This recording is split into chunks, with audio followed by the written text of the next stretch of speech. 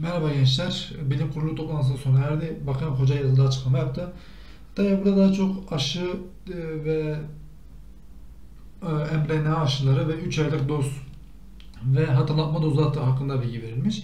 Hani ekstra okullarla ilgili ve üniversitelerle ilgili bir şey verilmiş ama hani e, tehdit mutasyona uğrasa da tedbirlerimiz geç, ge- geçerliliğini sürdürmektedir diye açıklama yapmış.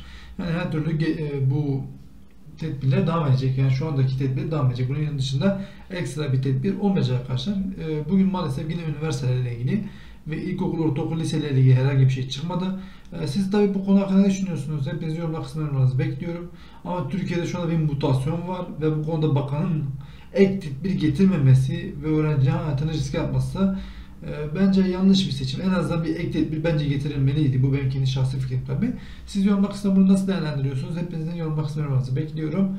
Hoşça kalın, sağlıkla kalın.